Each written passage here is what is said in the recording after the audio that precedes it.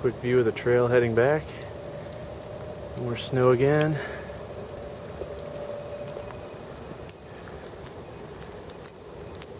Coming back down.